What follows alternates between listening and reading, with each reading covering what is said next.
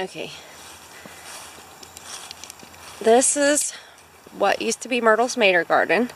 Now it's Willis's Winter Fair.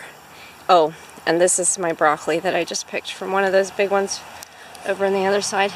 Now, we have collards here, and they're just Georgia Southern collards. Um, I have one, two, three, four rows there. And then I just kind of, you'll see like borage here and there.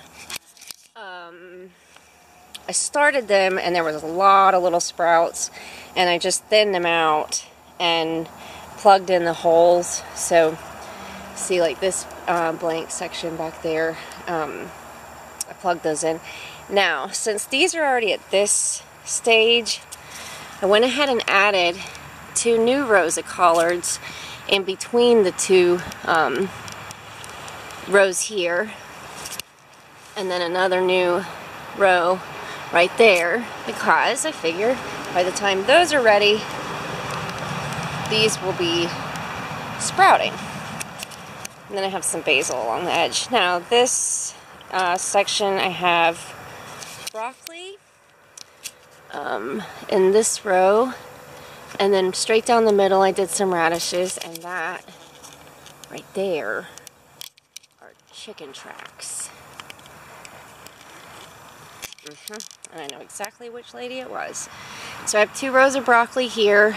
Um, I don't know. I've uh, only grown the broccoli in the raised bed, so I'm excited to see how it does just um, directly in the ground. And right here, I have a row of cabbage. I'll put it in the description what variety it is. And then two rows of radishes on either side.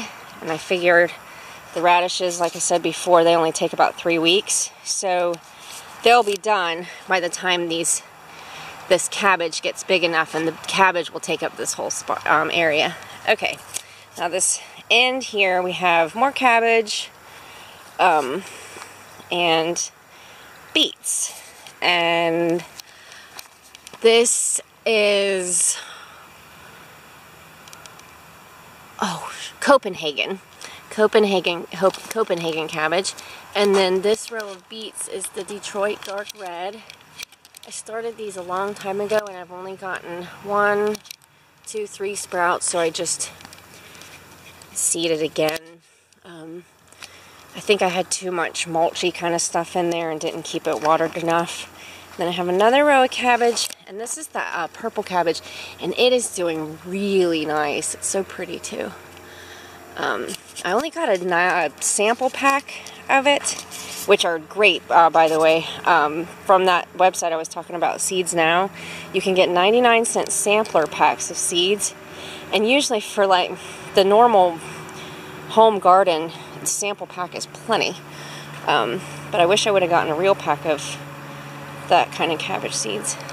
And even their regular um, packs are very, very reasonable it's well worth it. And then I have a of radish here, which like they grow really fast. And then some cabbage that kind of didn't do too good. Um, I had too much of that mulch stuff, so kind of cleaned it out and then plugged in some holes.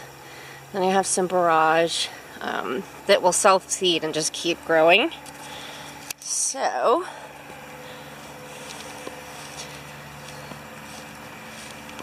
all this going on, and if I have it timed correctly, all this stuff will be out of here in plenty of time to put things in for spring.